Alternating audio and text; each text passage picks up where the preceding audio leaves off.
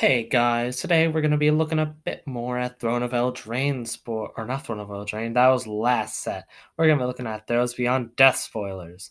And we're going to get off super fast. I won't really have any time to do that much editing because school started back up. But, uh, so I'm going to do my best to keep bringing you content, which may mean it's a bit lower quality, but I hope you can y'all can deal with that. So first card I'd like to point out is one with the stars. Now this card is actually the same as a test card, which was Enchantment Eyes, which I thought was a very interesting design. Enchant creature enchantment. It's an enchantment, it loses all other card types. Same card. And I like to point out that that means that more of these test cards could show up as actual cards. And many of them are very cool. I especially like Gunk Slug and some of the other cards that appear. But I'd just like to point that out because I find it very interesting. Now I've got Heliod Suncrowned. Now this guy has had quite a controversy around him, mostly about how he combos with Walking Ballista. But I'm not too sure whether that will actually. Uh, I know how to spell words. Um, it seems too slow for me because Walking Ballista has to have two counters on it already when you give it the lifelink ability, which means that you couldn't activate this until maybe turn four and kill your opponent on turn four. Now, at the current modern state, that might be fast enough, but in future times, remember when freaking uh, all the dredge decks were around running Bridge from Below and it was just not fun. But I feel like that could not be fast enough for modern. A deck I think it would work better in is Kitchen Finks, which uses this creature, which if you're able to put plus one plus one counters on it, you can infinitely loop it with a sacrifice outlet. And that works a lot better from my point of view because it gains life, triggers Heliod counters, and gain infinite life uh, as well as infinite sack triggers. Now we've got Atris, Oracle of Half Truths, 4 mana, 3 2 with Menace. And when it ETBs, you look at the top three cards of your library, uh, and the opponent, or a opponent of your choice, puts a face up and a face down pile out of those cards, and then you get to take one of the piles. So it's a bit of a guessing game to see if you can outsmart your opponent and try to get the best cards from it. This is very similar to a card printed in Eldritch Moon, a blue card, which is Fortune's Favor. This one has an additional card and is at instant speed, uh, but this could be interesting, I guess it doesn't seem that powerful of a card. Uh, because in a lot of games, a 3 2 menace really isn't going to do that much, I think. And the deck that you'd want to have this all this value in would be in a control deck, which isn't really looking to be aggressive with menace. So I'm really not sure where this would go. Um, that again, it's an interesting design. I like to see Fortune's Favor revisited. I'm just really not sure if it goes anywhere. Next, we have Idyllic Tutor, which is a reprint, as you probably know. It lets you tutor for an enchantment for 3 mana. Last time I believe it was printed was Shadowmoor or Eventide. But I'm not sure where this goes. Maybe if there's an enchantment combo deck, or maybe it could act like a tutor effect in an enchantment toolbox deck. That could be interesting. But it seems like it doesn't do that much to me. I don't think it will really see any play. Although we do have Ashiok's Erasure, which works a lot like Exclusion Ritual, except it's a counter spell. And this means that you're able to flash it in, counter a spell, even spells that are uncounterable, say a Abrupt Decay, and your opponents can't cast any more spells with that same name. I think that's pretty interesting. Whether it's too expensive to go into any decks might be a difficult question, but eh, it could be interesting. Uh, then there's some lower rarity stuff most of it seems like jank. Um, I just a lot of these escape cards have way too high of escape costs, like Glimpse of Freedom. It's a bit like Think Twice, except you have to exile so many cards from your graveyard. I don't even know if it's even worth it at that point. Or Sweet Oblivion, although a mill deck might be pretty good in this format. It's an uncommon, and just milling is, I don't know if that's good enough. But we do have Dalakos, Crafter of Wonders, which is a 3 mana 2 4 that can tap to add double blue or colorless for only artifacts or activating abilities of artifacts, and he gives your equipped creatures flying and haste. That's pretty good. I want to play a commander deck with this guy. Maybe play a bunch of like zero equip equipment that so that he can get haste immediately, tap down, cast a bunch of things. It seems like a lot of fun from my point of view. In standard though, I really don't know. The equipments we do have aren't that good. So maybe if we get something good enough to make the archetype viable, maybe, but I don't really think so.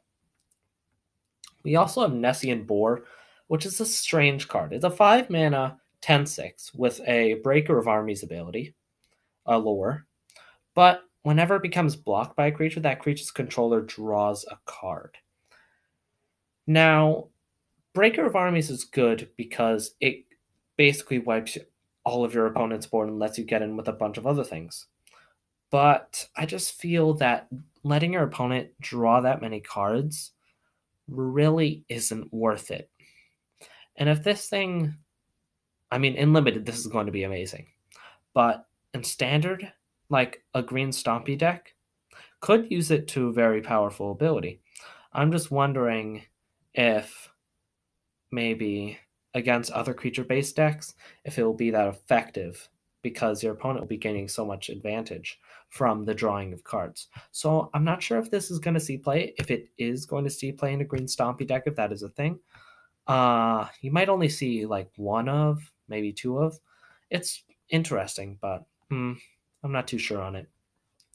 Next, we have Pharika's Spawn. This is an uncommon. I just wanted to mention it because it has an escape ability and it escapes as a 5 6 for 6, and your opponent has to sack a creature, which I think is pretty good. Uh, this might see play in standard. It's very grindy and just really nice. I want to play a lot of it in limited.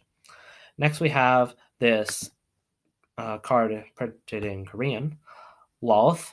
She's a 4 mana 3 5 reach and spider and whenever your opponent casts an instant or sorcery, you get another spider with reach, a 1 2. Now, this is very interesting. In standard, though, I don't really see if it's that good. Maybe if you're able to resolve it against a control deck, it can be very powerful. But other than that, I don't know. Because if you just kill it, then all you get is a 1 2 behind. And if you kill with a creature, you get nothing. So I'm not really sure because it's just a hard card to, to like think about because we don't know how standard's going to end up being.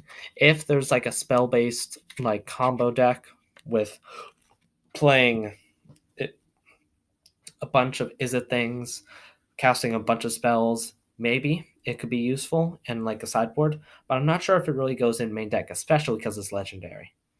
Next, we have Tectonic Giant, which is a 4 mana 3 4, and whenever he attacks or becomes a target of a spell ability opponent controls, you get to bolt each opponent, or you take the top two cards of your library and you get to basically impulse draw one of them. This is extremely interesting. It works a lot like Bone Shaker Gi- or Bone Crusher Giant, in that it hurts the opponent when they target it, which I think is a good ability because Hexproof is a bit too one-sided in that there's not you can much you can do about this about it. But this has a hexproof esque ability. It's just that you can target it, but if you do, bad stuff will happen. The drawing cards is very nice. This could work very well in an aggro deck because like bolting your opponent on every attack is pretty good. Not gonna lie. I think this might see quite a bit of play, and I kind of want to play it myself. Makes me want to play aggro, which is usually not me. Also, just want to mention This is another red sacrifice card. Jund Sacrifice is going to be even better. Uh, so I'm not sure. Also, I like the name they gave him, number one Bolas fan.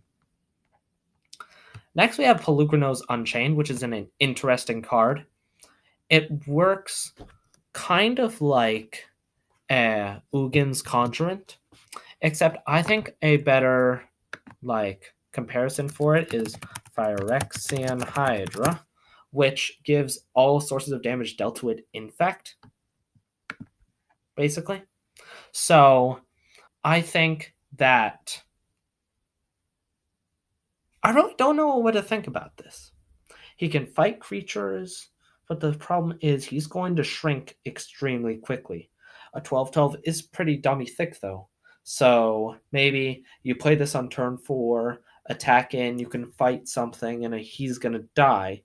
But then next turn, you can just escape him back, and it'll be a 12 12 and extremely scary. And then you can just continue to have fun because you can keep getting him back as a 12 12.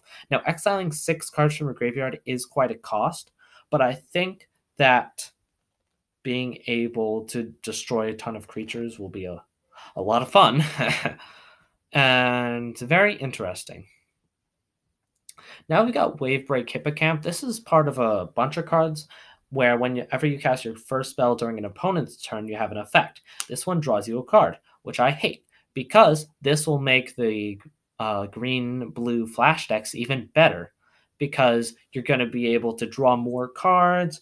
You're, oh my gosh, um, is that Wolf still, still going to be in standard? I'm not sure if that was M20 or uh, M19. Pretty sure it was M20. So uh, that deck is definitely going to be a thing. I'm pretty sure of that. Now we have Nylea's intervention. This is very uh, situational, I'll say that. You can tutor for it's green, green, and X. You choose one. You tutor for X lands, not basic lands, any land, or you deal twice X damage to each creature flying. So basically, it's a super tornado, or it's a mass land tutor. This is never going to see play in standard. But in Commander, I expect to see this a lot in land decks so they can get all their lands together and just blast the opponent. Uh, a couple more cards, which we've already seen, and they're nice arts. Um, and that seems like everything, I'm pretty sure. Uh, yeah, thanks for watching. I hope you enjoyed, and I'll try to keep making tons of content.